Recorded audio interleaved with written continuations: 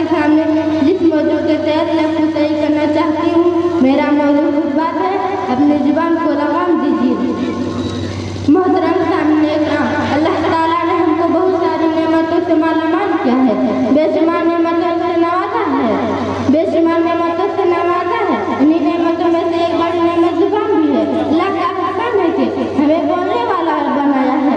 ज़ुबान की नेमत से बरकरार किया है। अगर अल्लाह ताला हमें गुंगा बना देता, ना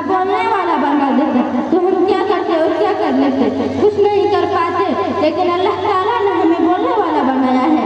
और कुत गोयाई अदा की हमारे ऊपर ये अल्लाह का बहुत बड़ा इनाम और इकराम है।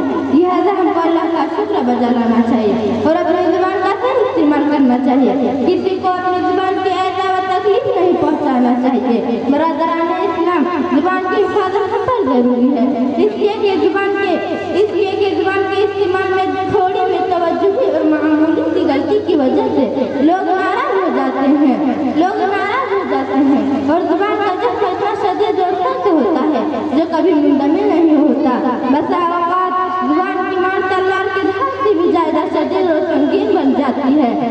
किसी में कहा जख्म तलवार का भर जाता है कुछ लम्हों में। जख्म तलवार का भर जाता है कुछ लम्हों में। पर ज़ुबान जख्म जो दे भरता नहीं नदियों में। इसीलिए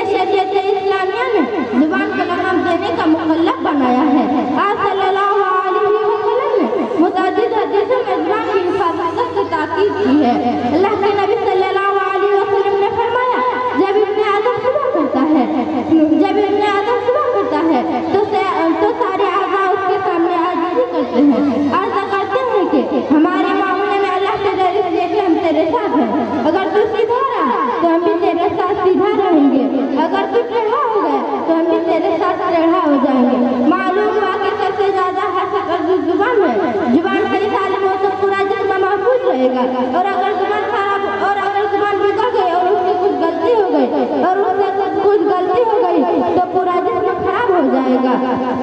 तो पूरा जिसम खराब हो जाएगा।